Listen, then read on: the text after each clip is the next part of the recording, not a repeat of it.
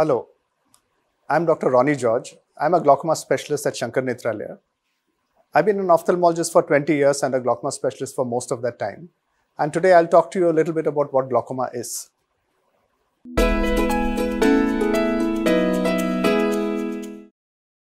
So many of you, in fact, most of you, would not have heard of glaucoma. And you'll ask me, why is that so? The reason, unfortunately, is that in India, 90% of glaucoma is undetected, which means that the 10% of people who know that they have glaucoma constitute just 1 million people in this country. We're a country of 1 billion people in which 1 million people know that they have disease. So it's not unusual that you don't know that there's such a disease exists. Why is this disease such a problem? The reason that this disease is such a problem is that most of the time it has no symptoms. And it is called the silent thief of sight because by the time you start having problems, you start bumping into objects when you walk, or you realize that you don't have vision in one eye, there is nothing that we can do for it. And that is why it is important that you know that such a disease exists and such a disease can be easily treated. And you need to have a checkup to find out if you have disease or not. So glaucoma is a group of diseases where the optic nerve, which is the nerve which connects the eye to the brain, is damaged. And it is usually damaged because the eye pressures are a little high for that eye and the nerve cannot tolerate those pressures. And what happens initially is that your peripheral vision, the side vision that we don't actually pay attention to, is restricted. And when this side vision is restricted, most of us don't realize because we focus on what's in front of us. But when this side vision is restricted, as it gets smaller and smaller and smaller, you'll end up looking through a tunnel. And when you look through a tunnel, if you've ever done kept a tunnel in front of your eye, you know that nothing around you is visible. And the tunnel vision is, of course, the last stage of disease. Before that happens, you start bumping into objects because you're walking and you don't know what is there on the road over here. And that is the reason why this is a dangerous disease. There are two types of glaucoma, and the two types are primary and secondary. Primary basically means when there is no other cause for the disease, and secondary means when there are other causes for the disease. I will talk a little bit about both of them. So in your primary glaucomas, you have what we call primary open angle glaucoma. The angle is essentially that you think of it as a drain. It's a drain in the eye from where the fluid flows out. So you have fluid being produced in the eye and you have fluid that leaves the eye. Don't confuse this fluid with tears. Tears are the outer surface of the eye. This is fluid which is circulating inside the eye. So in open angle glaucoma, there is a little resistance to the fluid leaving the eye and the eye pressure builds up slowly and this damages the nerve.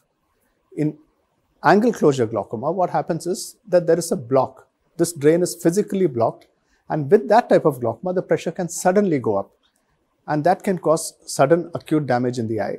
And it is the more blinding cause of glaucoma among these two. This again is unfortunate for this country because in India and China, angle closure glaucoma is a very significant problem. Even though I told you that the pressure goes up suddenly, very often there are no symptoms of that. So the second group of glaucomas are the secondary glaucomas. Now the secondary glaucomas happen because of something else in the eye. It can be because of an injury. Did you bump your eye somewhere? Did you have a punch to the face? Did you have a sports injury? Did a ball hit your eye? A shuttlecock hit your eye? All these things can damage the normal drain. And when that happens, your eye pressures can go up. The other, unfortunately, common cause in India is the use of a medication called a steroid. So if you have an itchy eye, sometimes you go to a pharmacist and you get a steroid drop and you use it. And you use it for a long period of time. If you are susceptible, this can push the eye pressures up and you can land up with a very, very bad glaucoma. And this can also happen if you're using a steroid skin ointment for a long time.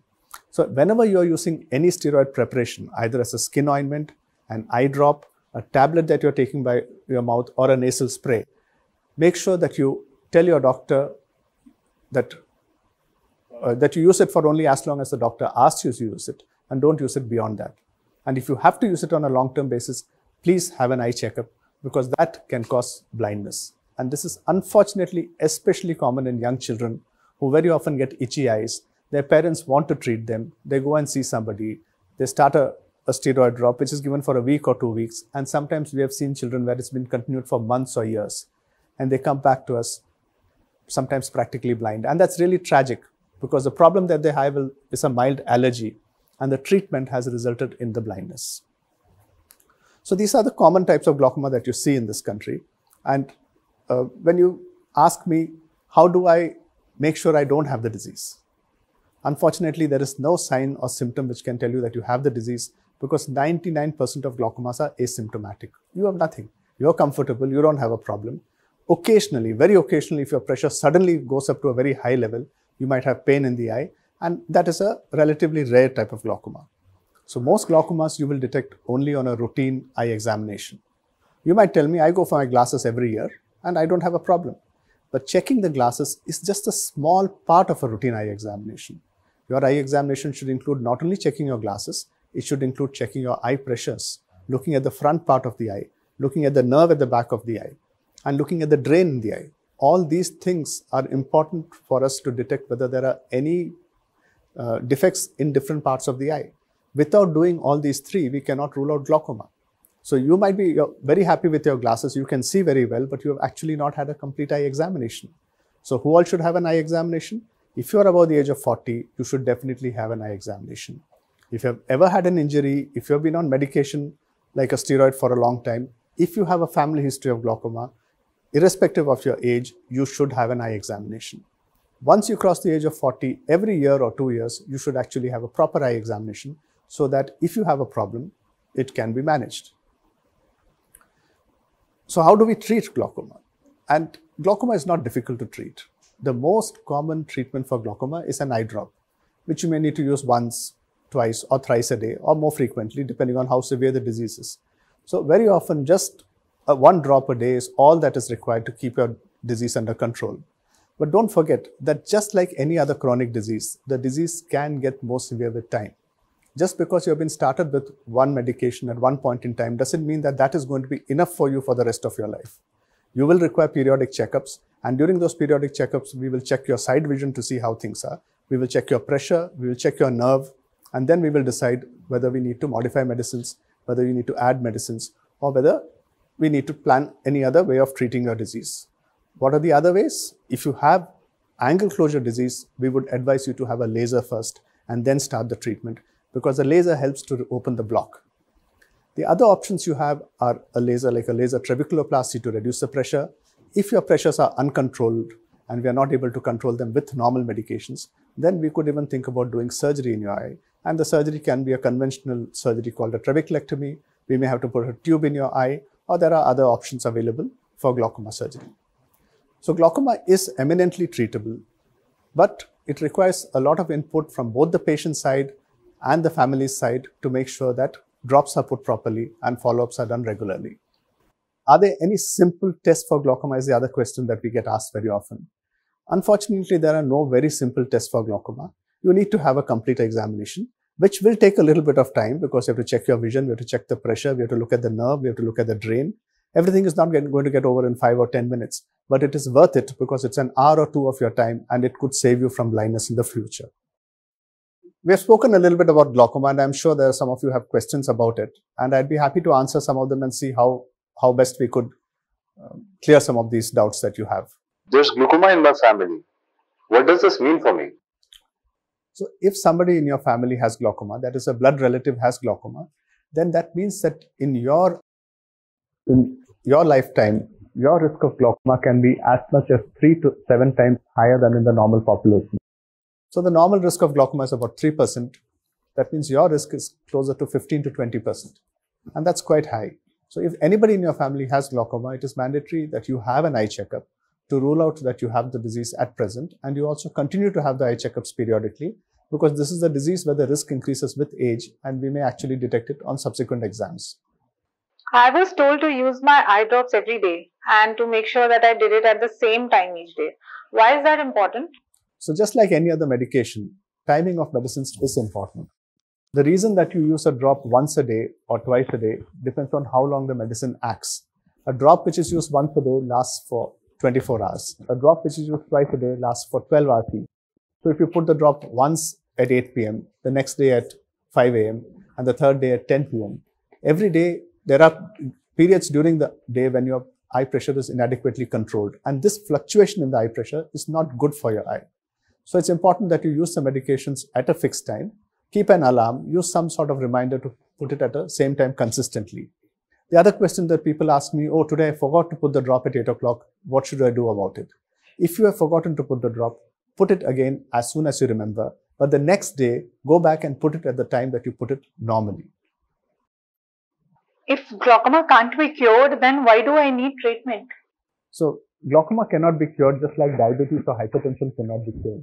That doesn't mean that we don't take diabetes or hypertension medications.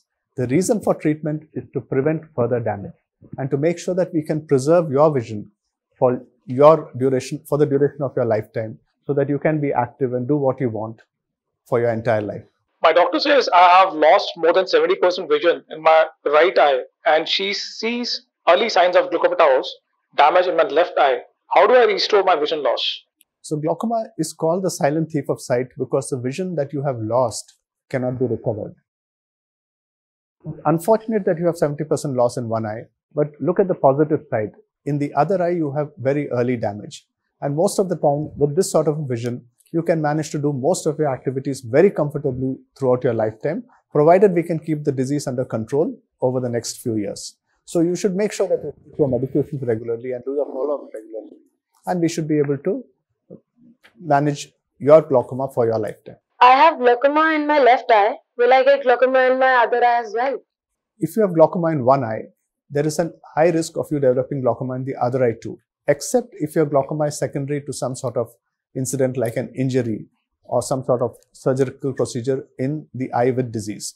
So most of the time, glaucoma tends to be bilateral, that is in both, in both eyes, but the disease can be very asymmetric with one eye having much more severe disease than the other.